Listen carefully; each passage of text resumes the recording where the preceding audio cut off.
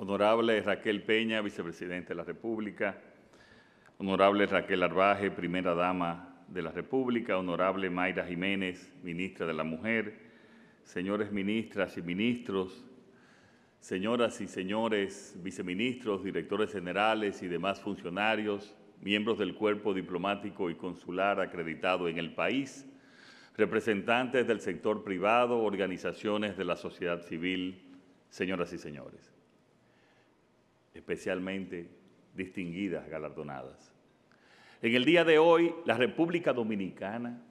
personifica en ustedes el más alto homenaje a la inmensa figura de la mujer dominicana.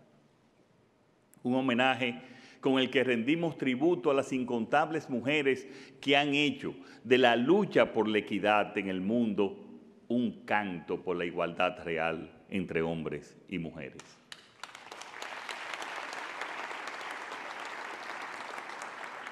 Igualdad y equidad que desde el Estado Dominicano estamos poniendo en práctica en cada una de las acciones que desarrollamos, conocedores como somos de las históricas desigualdades que aún afectan a las mujeres y a las que han tenido que hacer frente. Primero ustedes solas, pero ahora, y desde hace mucho tiempo, con el apoyo de tantos hombres que entendemos imposible el desarrollo de las sociedades sin la participación de la mujer en todos los ámbitos de la vida.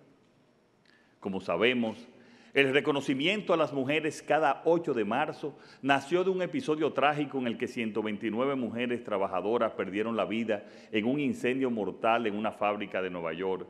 en el 1911. Eran activistas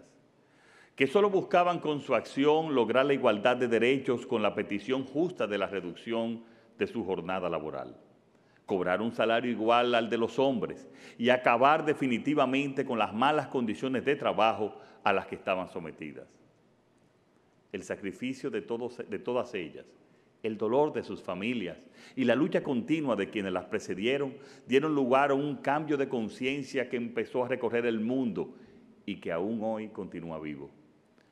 Nuestro país ha apostado fuerte para dotar al Estado de las herramientas necesarias que nos permitan erradicar las desigualdades estructurales que han afectado a más de la mitad de nuestra población.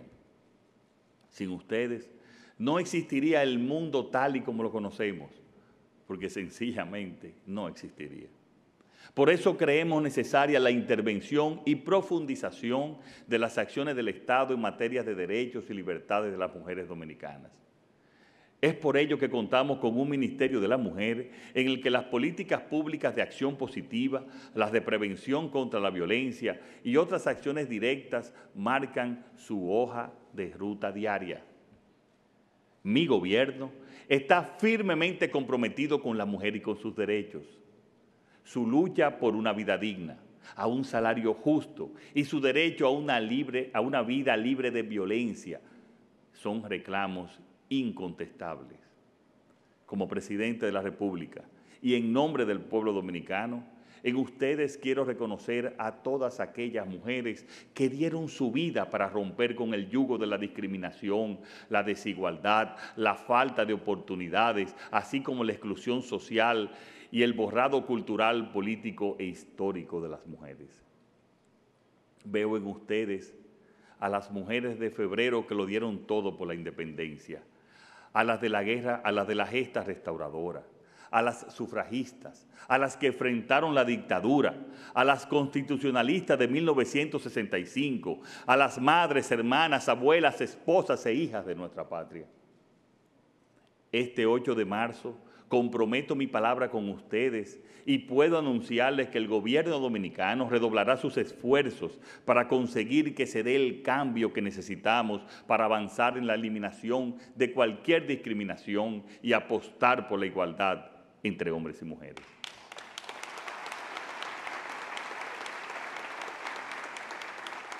Nuestro compromiso avanza en la construcción de una sociedad en esos principios donde cada mujer desde su niñez cuente con las herramientas necesarias para desarrollar al máximo todo su potencial y aprovechar las oportunidades del desarrollo en el plano científico, económico, político, social y cultural.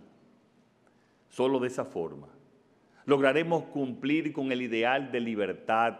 de igualdad, de democracia y de justicia social que nos es exigible como Estado moderno y de futuro.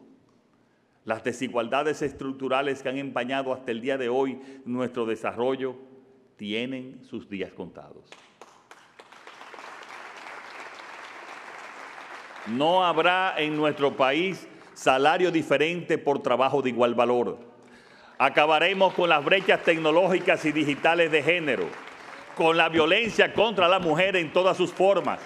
y nos ocuparemos a que no sea una gran preocupación la mortalidad materna que desaparezcan los embarazos en adolescentes y que las madres cabezas de familias tengan acceso a viviendas dignas. Esa es nuestra lucha, esa es nuestra principal lucha. En definitiva, asumimos el reto de lograr que la vida de nuestras conciudadanas mejore, porque es de justicia y porque son sus derechos. Sabemos que la pandemia del COVID-19 ha agravado y empeorado todos los indicadores sociales y económicos, lo que ha desvelado esas costuras rotas de una sociedad desigual. Pero también la incidencia de esta pandemia nos brinda una oportunidad para construir un futuro más promisorio y de mayores oportunidades para las mujeres. Rindamos, pues, homenaje a las miles de mujeres que han estado siempre al frente, dando la batalla para combatir el coronavirus, a las miles que hicieron de sus hogares su lugar de trabajo, su centro de estudio, a las cuidadoras de nuestros mayores y a las que con gran entrega se han convertido en maestras, acompañando a sus hijos e hijas para continuar el año escolar. Reconozcamos también a las artistas que hicieron magia de la virtualidad para reconfortarnos el alma, a las enfermeras que con un genuino amor al prójimo siempre estuvieron presentes en los momentos más inciertos, cuando aún no teníamos certezas de poder acceder a una vacuna efectiva a las empresarias, a las trabajadoras del hogar, de los servicios de cuidado, a las comerciantes que buscan cada día el sustento para sus familias mujeres que hoy reciben esta medalla al mérito, ustedes son, ustedes son los rostros de cada una de esas mujeres y encarnan el legado de las que dejaron su nombre con tinta indeleble en, las, en los anales de la historia. Ustedes son los rostros de las mujeres anónimas, las heroínas que ayudan a sostener este país que es de todos nosotros son ustedes las valientes, intrépidas y comprometidas mujeres que les precedieron y sustentan el legado de todas ellas. Siéntanse igual de orgullosas como me siento yo de que nuestro país, la República Dominicana, tenga como ustedes un nombre de mujer. Muchas gracias a todos y a todas y que Dios, que Dios las bendiga siempre.